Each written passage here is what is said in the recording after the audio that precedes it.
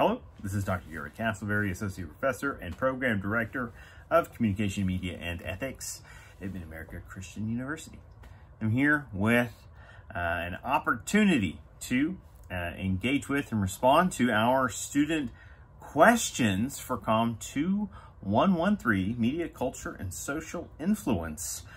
Uh, Media, Culture, and Social Influence is one of the courses that asks our, our students uh, or quests them, if we want to fra frame it that way, with devising questions that draw upon each of the three uh, books that we're working through in the class. And in, um, in order to make additional use of those in an online accelerated context, uh, in this course, we have students submit those questions and we our goal is for instructors to be able to take from those questions and put together some some engaged responses. Um, uh, this this title, uh, or, or, rather this practice, uh, goes by a couple of names. I might refer to it as an asynchronous dialogue. It's it's very much happening. It's it's an interaction between us, between instructor and student. Um, and um, it's also raw materials that help us uh, form, formulate some digital lecture material. And so appreciate uh, the opportunity to get to uh, see how students are taking in and processing the information, see if they're on the right track, what questions they raise.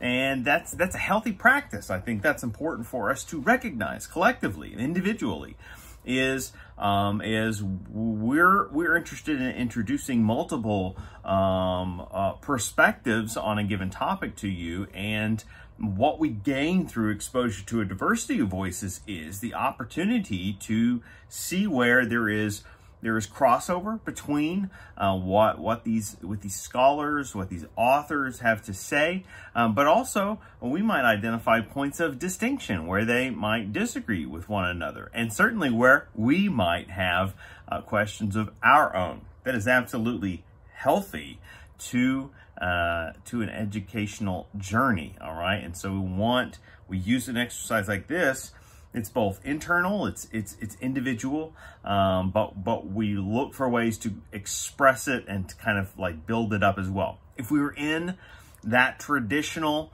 um, classroom setting, this could be an opportunity to build dialogue based on your your comments, your questions, your feedback, and, and really develop a group dialogue in the in the case of of this course because it's a, a lower level course an introductory communication class um, it, it funnels through the instructor at least at this point in time. However uh, for those of you that are part of the major that are communication media and ethics uh, majors there are upper level courses where we really begin to kind of uh, role reverse this practice and give students an opportunity to uh, have their voices heard. All right.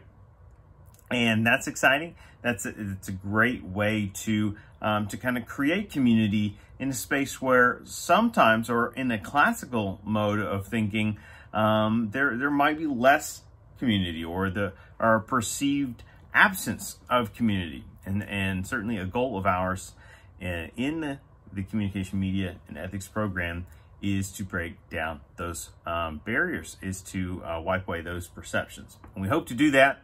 Um, my goal, and wow, will this be a challenge for me, is uh, to, to work on brevity, um, stats, uh, statistics, uh, or uh, let me use a more uh, a clearer term, data analytics suggests um, the longer entries uh, have have uh, diminished returns. And so I'm looking to break up some of these responses and, and maybe what that means is I'll have to work through, I'll have to be more selective and to respond to fewer uh, questions than I normally would like to. But if that, if that stimulates more engagement from us or maybe creates more of a competitive attitude about the thoughtfulness that goes into our questions, uh, if, if that's a determining factor, then perhaps it's a service to us. So I'm going to pause it right there and uh, we can consider an asynchronous uh, uh, segment break and